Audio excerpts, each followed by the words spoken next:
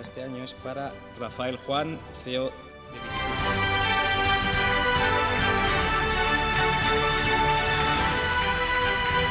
de De Dulcesol a Vicky Foods hay una dulce historia de innovación liderada por Rafael Juan. El jurado ha reconocido la reinvención de una compañía de origen familiar que destaca por su cultura basada en las personas, el compromiso con el entorno y su infatigable mejora continua. Por todo ello, es el Dux por la innovación. Bueno, muchas gracias. Eh, la verdad es que es para mí un honor recibir este, este reconocimiento eh, y, pues, por tanto, pues agradezco a Canal CEO, mí y a todos los miembros del jurado, eh, viendo pues tantas CEOs que probablemente lo merecen tanto más que yo, pues de verdad es un verdadero, un verdadero honor.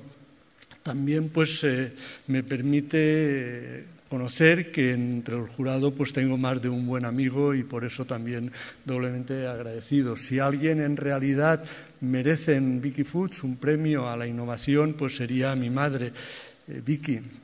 Victoria, ella eh, fue pues sin duda la persona más innovadora que, hemos tenido en Vicky Foods eh, y su invento genial de las magdalenas cuadradas, que aparentemente una perogrullada nos situó en el mapa Vicky Foods en los años 70 y desde luego pues su impronta eh, de innovadora ha quedado marcada con una huella en, en nuestra empresa en Vicky Foods. Y bueno, hoy Seguimos en esa senda de la innovación, eh, tenemos retos muy importantes, pero desde luego si alguien hay innovador en nuestra empresa es nuestro equipo de más de 2.800 personas. Son ellos los que nos dan agilidad, los que nos ayudan a desarrollar nuevos productos, nuevos proyectos, a ser cada vez más internacionales, también más sostenibles y sobre todo eh, alcanzar nuestro reto, nuestro propósito que es eh, innovar para alimentar un mundo mejor. Hemos hablado, hemos escuchado a lo largo de la noche eh, hablar de ese mundo mejor que todos deseamos.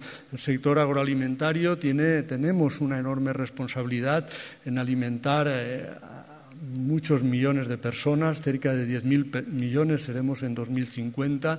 Tenemos que darles de comer, pero además hacerlo de una forma sostenible. Estamos viviendo una crisis alimentaria en la cual muchas personas están pasándolo mal y realmente pues tenemos un reto, yo creo que, verdaderamente importantísimo en nuestro sector y a él vamos a tener que, seguir dedicando muchos recursos.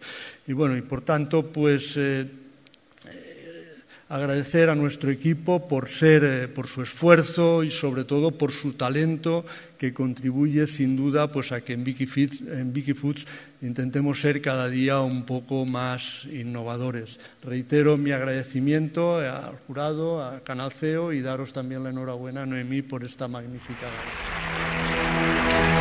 gala.